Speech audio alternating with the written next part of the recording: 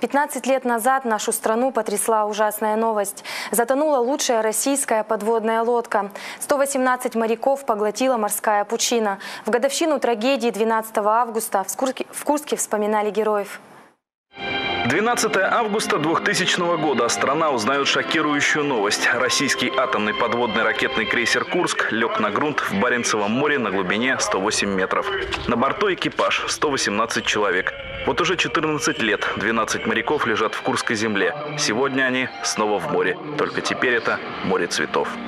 Ребята и офицеры, и матросы, и так далее, все, кто был, это 118 членов экипажа, действительно стали настоящими героями в глазах наших людей, а они заслуживают того, чтобы перед каждым из них еще многие десятилетия, а то и столетия снимали, как говорят, шляпу и отдавали дань уважения им.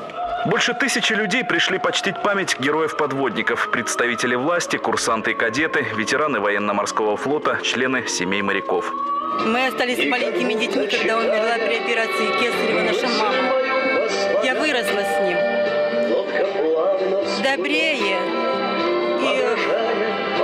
любящее человека я, наверное, не знаю.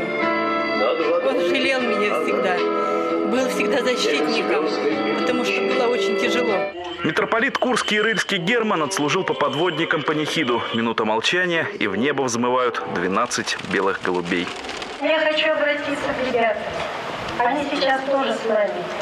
Ребята, спасибо, что вы были с нами короткое время. Спасибо за ваши молитвы, что вы молитесь за нас, за нашу Россию. И спасибо, что спасли и защитили.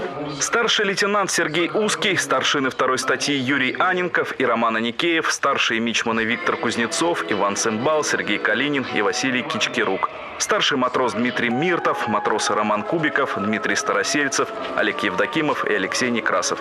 Эти герои, как и подвиг всего экипажа российской атомной субмарины, навсегда останется в сердцах поколений.